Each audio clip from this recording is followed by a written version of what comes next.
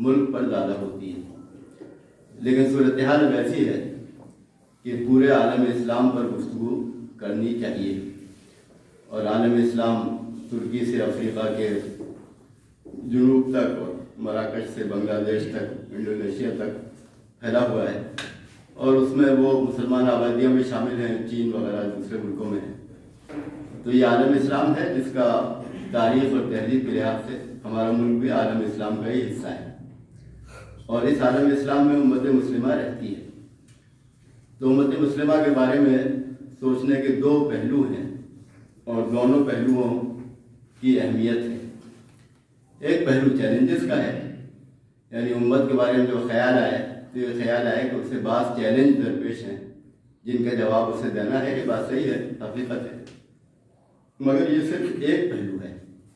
दूसरा पहलू ये है कि ये उम्मत कुछ मकसद और मिशन रखती है, जो दायमी है मुक़दस है, बुलंद है। तो ये दूसरा पहलू वह है जो बहुत कम लोगों के सामने है। पहला पहलू वह है जो बहुत ज़्यादा लोगों के सामने है।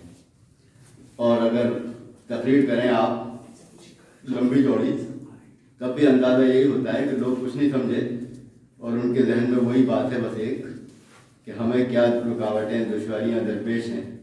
और उसी पर वो गौर करते हैं। इसमें आखिर तरद का पहलू क्या है? तो तरद का पहलू यह है कि अपने दुशारियों मसाइल मुश्किल पर तो दुनिया का हर गिरोह गौर करता है।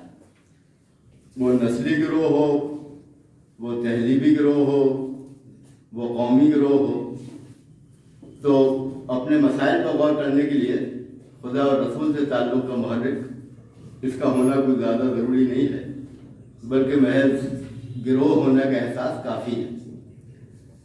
लेकिन अपने मिशन और मकसद पर गौर करने के लिए जो मिशन और मकसद गिरोह की अजमत की बालियाफ्त नहीं है, बल्कि इंसानों की रहनमाई है तो उस पर गौर करने के लिए शूर की बुलंद तरीन सतह दरकार है। ये तरद की बात है। यानी हम ये नहीं चाहते कि उम्मत मुस्लिमा का जो शूर है, वो एक गिरोह जैसा शूर बन जाए। बल्कि ये चाहते हैं कि वो एक आफाकी मिशन रखने वाले आलमगीर, आफाकी इंसानी गिरोह का शूर उसके अंदर पैदा हो। तो ये वो बात है जो इंसानियत के मसाइल को हल करती है। तो ये आलम इस्लाम जो पूरी दुनिया मौजूद है तो इसके बारे में बहरहाल इन दोनों पहलुओं पर बात करने की ज़रूरत है।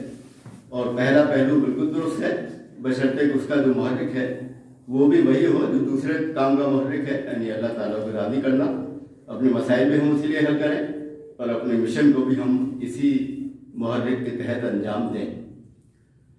तो ये जो पूरा आलम इस्लाम है। इसमें एक जज्बाती वहदत तो पाई जाती है।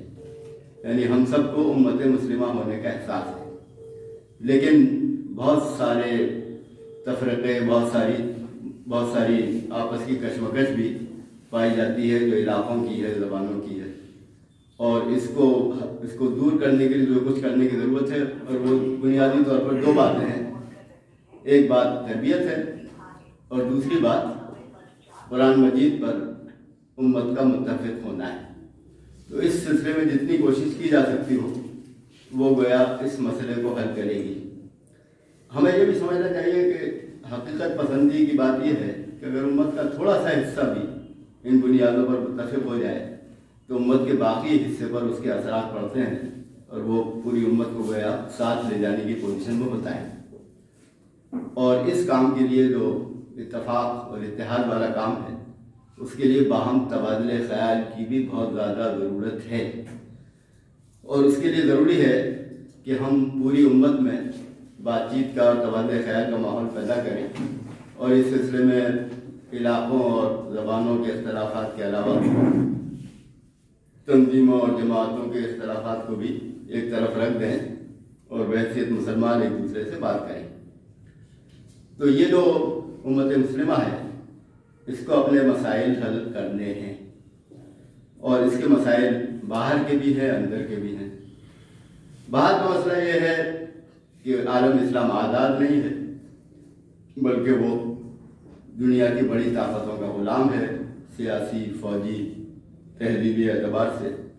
इस ग़ुलामी से निजात पाना, ये उम्मत के खारजी मसाइल को हल करने में सबसे ज़्यादा अहमियत रखने वाली बात है। इसमें हिंदुस्तान के मुसलमान सोच सकते हैं, मशवरा दे सकते हैं, शरीक हो सकते हैं, दुआ कर सकते हैं, लेकिन बहरहाल ये मसला है।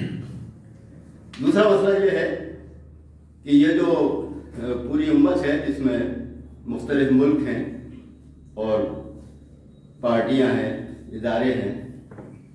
लेकिन एक बड़ी तादाद बहरहाल ऐसी है, काबिल ज़िक्र तादाद, जिसके दिल में दीन से भी मोहब्बत है और मुसलमानों से भी मोहब्बत है। ऐसे लोग हुक्मरानों में भी हैं, बादशाहों में भी हैं, पार्टियों में भी हैं, ब्यूरोक्रेसी में भी हैं, अखबार वालों में भी हैं।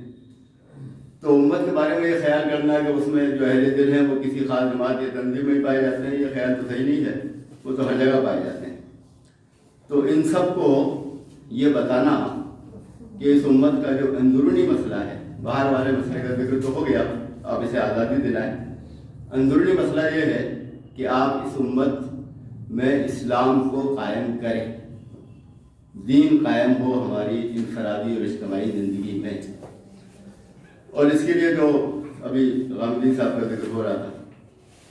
गामिदी साहब का के बहुत सारे दिलचस्प ख्याल में से एक ये भी है कि दीन के क़्याम के लिए, यानी मुतन तौर पर, किसी मुल्क में इस्लामी कानून के नफाज के लिए आवाम की मंजूरी ज़रूरी है। आवाम तो मुसलमान है। कलमा पढ़कर वो अपनी मंजूरी तो दे चुके दोबारा उनकी मंजूरी क्यों ज़रूरी है? उन्होंने तो अल्लाह रसूल के इतात का अहद कर दिया। खुदा और मखलूक के सामने। तो बहरहाल ये बात साफ़ हो जानी चाहिए, जो हमारी जमात इस्लामी ने तहरीक चलाई। इस्लामी दस्तूर बनना चाहिए, पाकिस्तान में। कुछ बन भी गया थोड़ा बहुत। लेकिन अगर ना भी बनता और ना बने किसी मुस्लिम मुल्क में तब भी उसके आबादी का मुसलमान होना इस बात के लिए काफ़ी है कि वहाँ की इज्तमाही ज़िंदगी इस्लाम के मुताबिक चलाई जाए। चाहे वो ख़ानदान हो चाहे वो स्कूल और कॉलेज हो, चाहे वो बाज़ार और बैंक हो, चाहे वो पार्लियामेंट और असम्बली हो। तो इस पर हमें इतफाक़ करना चाहिए। हमारी पार्टियाँ, हमारे सारे लोग, मगर पूरी उम्मत उससे मुतफिक हो कि उसे अपनी इज्तमाही ज़िंदगी में दीन को कायम करना है। इतिहाद इतफाक़ में हमारी नज़र ज़्यादातर इस पर जाती है कि ज़ाहरी इतिहाद कितना है। तंजीमों वाले कितने एक जगह जमा हुए। एक प्लेटफॉर्म पर आए कि नहीं आए, इसकी अहमियत है, लेकिन असल इतिहाद ख्याल का इतिहाद है। अगर आप ख्याल के इतिहाद में पैदा कर दें, मिसाल के तौर पर रुजू कुरान की बात है, अगर ख्याल के इतिहाद पैदा हो जाए तो फिर ये जो ज़ाहरी इतिहाद या अदम इतिहाद, कुछ बहुत ज़्यादा अहमियत नहीं रखता। तो जब भी उम्मत में असलाह हुई, वो इसलिए हुई कि शूर पर जो गर्द पड़ गई थी, वो दूर की गई और ख्याल में दोबारा इतफाक़ पैदा किया गया। तो ये वो काम है जो दीन का दोबारा फहम चाहता है इश्तहाद भी चाहता है। इस तरफ़ तोज्जो करनी चाहिए। हमारी तोज्जो ज़्यादातर ज़ाहरी इतिहाद की तरफ़ जाती है। हम सब एक जगह जमा हुए कि नहीं, एक साथ तकरीरें की कि नहीं, ये ज़ाहिर इतिहाद कुछ बहुत ज़्यादा अहमियत नहीं रखता। असल इतिहाद ख्याल का इतिहाद तो एक गुजारिश तो ये थी कि उम्मत मुस्लिम के मसाइल हल करने के लिए इस आलम इस्लाम को आज़ादी दिलाई जाए। इसमें इतिहाद इतफाक़ पैदा किया जाए, जो ख्याल की सतह पर हो। और इस पूरी, पूरे खत्े में जो आलम इस्लाम है, इसमें दीन को अमलन कायम किया जाए। और उम्मत के सारे लोगों से कहा जाए कि ये हम सब का मुश्तर मकसद है, किसी ख़ास तंजीम तहरीक का नहीं। तो ये वो काम है जो गोया हमारे मसाइल हल करेगा। अब जो दूसरा मामला है वो वो है जिसकी अहमियत ज़्यादा है। यानी खैर उम्मत जिस बिना पर हमें कहा गया तो खैर उम्मत हमें इस बिना पर कहा गया कि हम इंसानियत की रहनुमाई करें। तो इंसानियत की रहनुमाई का जो काम है, वो ये चाहता है कि हम इंसानियत के खैर ख्वाह हों, उसकी खिदमत करें रब कायम करें, लोगों से उनके मसाइल हल करें, उनको खुदा की तरफ़ बुलाएँ और उनको मारूफ का हुक्म दें, मुनकर से रोकें। तो ये वो काम है जो उम्मत को करना चाहिए। इस काम की जो रूह है, वो इंसानों की रहनुमाई है। और इस काम की जो स्पिरिट है, वो इंसानों की आलमगीर बिरादरी है। तो मतलब दोस्तों, मरूफ की तलकीन करना, मरूफ का हुक्म देना, मुनकर से रोकना, ये उम्मत की असल ज़िम्मेदारी है। और इस काम से जो एक बात समझ में आती है, मुझे उम्मीद है कि आप उससे इतफाक़ करेंगे। वो बात यह है कि जो इंसानियत दायरे इस्लाम के बाहर है, उससे हमारे ताउन की भी यही बुनियादें हैं। यानी हम मारूफ के हर काम में ताउन कर भी सकते हैं और दे भी सकते हैं, ले भी सकते हैं।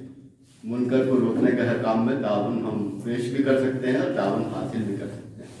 तो ये एक बहुत बड़ा मसला है जो हमारे बहुत सारे दोस्त पेश करते रहते हैं कि इंसानों के दरमियान जिनमें मजहबी इख्तलाफ हो उनको रहना तो बहरहाल इस दुनिया में है इसी मुल्क में है।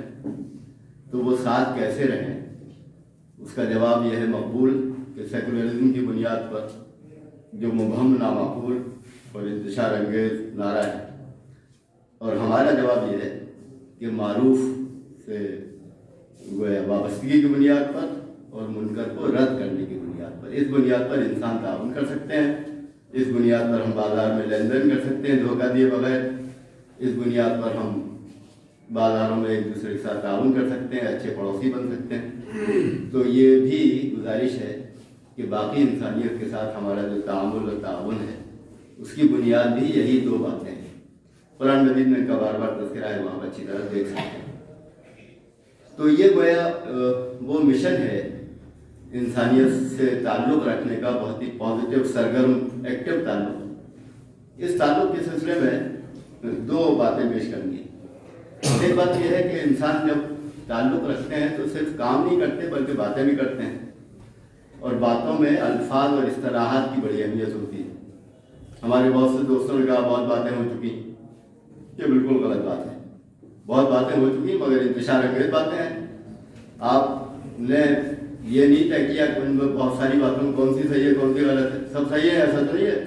वो सब टकराती वहाँ तो बहुत बातें हो जाना है, कोई काम नहीं है। बातें ठीक से नहीं हुई। मिसाल के तौर पर आप कहते हैं, मजहबी इंतहा पसंदी। और मुराद क्या लेते हैं? यानी तासुब का सलूक। तासुब का सलूक क्या मज़हब ने सिखाया है? तो बिल्कुल गलत इस तरह है। तो मगरब जो है, मज़हब और मजहबी गिरोह दोनों को एक ही मानव इस्तेमाल करता है। तो तो मगरब ने असलाहत में जो इंतहाई दर्जे का इंतशार जहनी पैदा किया है, उसको हम हिंदुस्तानियों और मशरकियों ने बिला सोचे समझे अपना लिया है। तो उनकी असलाहें ये इजहार ख्याल का ज़रिया जब बनती हैं तो ना हम अपना मसमा नज़र वादे कर सकते हैं, न इस्लामी दावत दे सकते हैं। तो एक गुजारिश तो ये है कि सारी मगरबी असलाहत को आप दरिया में डाल दें और अकल से काम लेकर कुरान सुन्नत की रोशनी में माकूल असलाहत वजह करें। एक एक असलाह में बात हो सकती है, तफसीली मौका है, मगर हर असलाह का साथ अंगेज है। हर एक में शर छुपा हुआ है, हर एक के गलत मानी है, हर एक में इबहम है, हर एक में इंतशार अंगेजी है दूसरी गुजारिश ये है आखिरी बात है, कि ये बातें तो वो है जो पूरे आलम इस्लाम के बारे में है।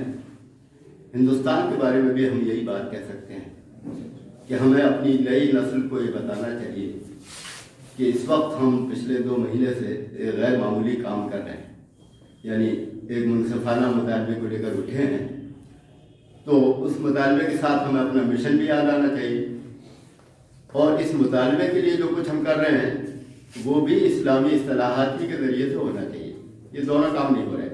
न हमें अपना मिशन याद है, और हम वही नारे, वही असलाहत वही दलाइल, वही बातें इस्तेमाल इस्तेमाल कर रहे हैं जो दुनिया कर रही है। तो हमारा जज्बा तो दीनी है मगर हमारा शूर ला दीनी है तो इसको दुरुस्त करना चाहिए ये बात हमारे मुल्क के बारे में है।